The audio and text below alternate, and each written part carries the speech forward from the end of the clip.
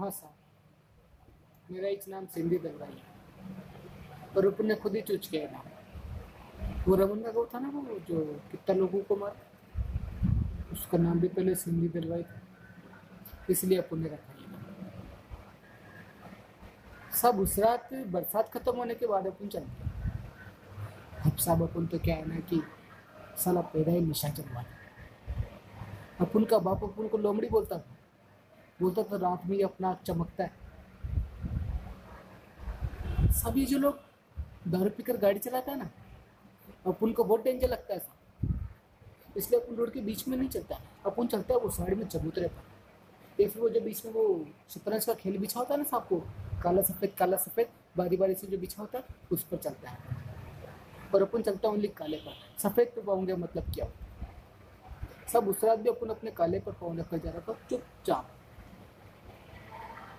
फिर अपन ने देखा एकदम से रोड खत्म, पर अपना काला गायब।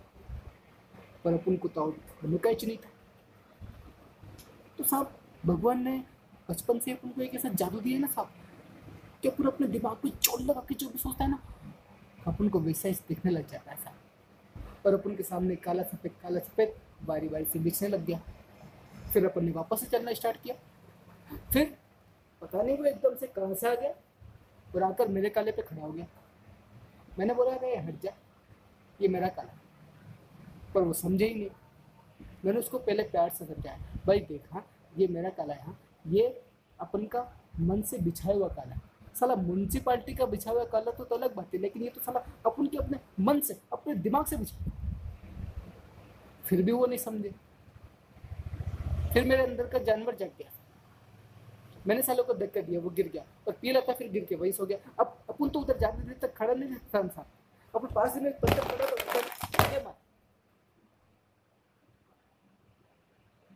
अब वो वहाँ से मर के भी नहीं हटा तो सोचा अब क्या है। तो फिर मैं इधर आ गया कंप्लीट करने।